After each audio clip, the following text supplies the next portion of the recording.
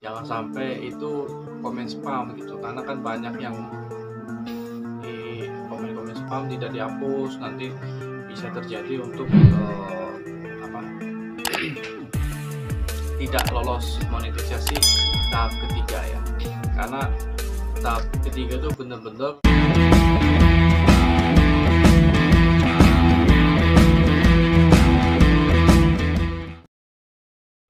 Assalamualaikum warahmatullahi wabarakatuh. Oke selamat datang di Major DKK 90 Ya di video kali ini saya akan bahas tentang seputar YouTube ya. Jadi untuk seperti pemula saya uh, seperti pemula kayak saya ini saya akan informasi sedikit ya untuk bagi kalian yang belum pernah monetisasi atau sudah monetisasi tapi lama ya. Jadi saya akan bahas sedikit ya.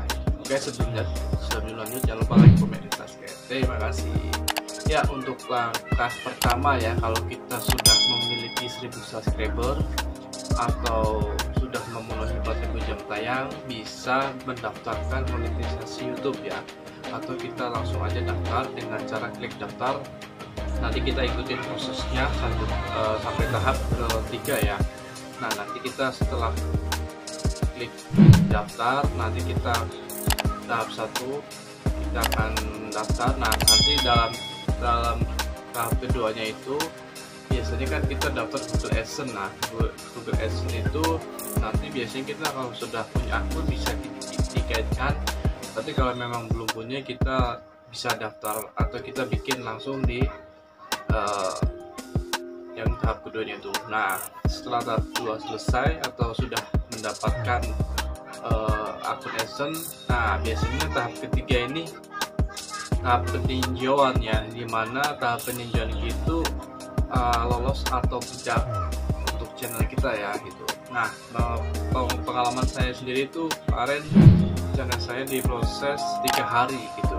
Harusnya sih dua hari gitu karena mungkin ada beberapa kendala. Nah bagi pemula seperti saya juga ini harap diperhatikan ya untuk uh, tahap ketiga ini ya atau peninjauan. Karena tahap peninjauan ini sangat rentan ya lolos atau tidak lolosnya untuk channel kita ya. Nah untuk yang pertama itu satu perhatikan uh, channel kita ya konten kita terutama konten kita itu original atau bukan.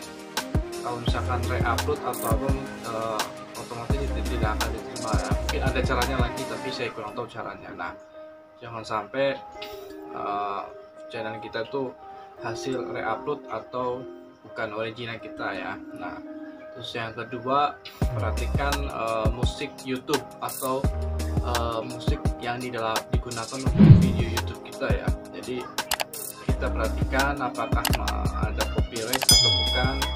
Nah nanti kita cek satu persatu ya sebelum daftar monetisasi gitu. Kita ketiganya tahap peninjauan gitu. Nah setelah dicek semuanya itu kalau memang belum benar-benar tidak ada copyright atau tidak ada berarti nanti kita bisa langsung daftar dan cepat monetisasinya. Nah kalau pengalaman saya kemarin itu tiga hari karena saya uh, setelah saya daftar itu kini saya dua hari cepat atau satu hari.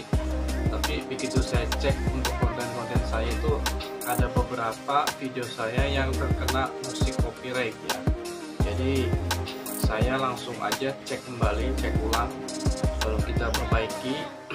Nah potong video yang eh potong suara yang kena copyright gitu atau enggak dihapus. Tapi kalau sih jangan dihapus karena akan mengurangi video kita. Nah setelah uh, beberapa proses itu saya mendapatkan email bahwa sudah tidak ada copyright ya untuk musik YouTube ya nah sore mendapatkan email nah besok harinya atau uh, dapat email lagi jam satu lah malam. Saya buka besok paginya uh, sudah termonetisasi atau sudah selamat anda bergabung di platform YouTube nah jadi uh, itu aja ya infonya ya bagi teman-teman yang sudah mendaftar monetisasi lama atau misalkan belum terprogram dari platform YouTube coba cek kembali ya terutama konten musik-musiknya copyright atau tidak kontennya original atau tidak terus perhatikan komen-komen spam juga. Jangan sampai itu komen spam gitu karena kan banyak yang tidak dihapus nanti bisa terjadi untuk uh, apa? Tidak lolos monetisasi tahap ketiga ya.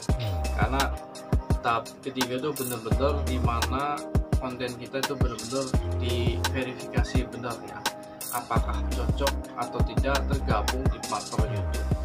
Ya itu sih itu aja sih ya. Mudah-mudahan sih bermanfaat bagi teman-teman uh, youtuber pemula. Seperti saya juga ini yang pertama itu tadi uh, harus benar-benar perhatikan ya. Ulangi lagi saya uh, perhatikan channel kita original atau tidak. Terus uh, musiknya copyright atau tidak ketiga komen-komen kita harus hapus. Cek lagi video kita ya apakah sudah benar-benar siap untuk daftar monetisasi nah mudah-mudahan sih kalau sudah dicek semua tidak ada bisa cepet paling lama sih monetisasi dua hari. Ya oke. Okay. demikian tutorialnya atau pengalaman saya. Jadi buat teman-teman silahkan cek kembali lagi ya untuk channel-channel uh, kalian yang belum termonetisasi atau monetisasinya lama cek kembali video-videonya ya. Nah semoga bermanfaat. Uh, jangan lupa dukung channel ini terus dengan cara like, comment, dan subscribe. Terima kasih. Wassalamualaikum warahmatullahi wabarakatuh. Thank you. Dan saya itu ada beberapa video saya yang terkena musik copyright ya. Jadi saya langsung aja cek kembali cek ulang lalu kita perbaiki nah, potong video yang eh potong suara yang kena copyright gitu. Atau enggak dihapus. Tapi kalau bisa jangan dihapus karena akan mulai video kita. Nah setelah beberapa proses itu saya mendapatkan email bahwa sudah tidak ada copyright ya, untuk musik YouTube ya. nah sore mendapatkan email. Nah besok harinya atau uh, dapat email lagi jam satu lah malam. Saya buka besok paginya. Uh, sudah termonetisasi atau sudah selamat anda bergabung di master YouTube. Ya jadi uh, itu aja ya infonya ya. Bagi teman-teman yang sudah mendaftar monetisasi lama atau misalkan belum terprogram dari partner YouTube coba cek kembali ya terutama konten musik-musiknya copyright atau tidak kontennya original atau tidak terus perhatikan komen-komen spam juga. Jangan sampai itu komen spam gitu karena kan banyak yang di komen-komen spam tidak dihapus nanti bisa terjadi untuk uh, apa? Tidak lolos monetisasi tahap ketiga ya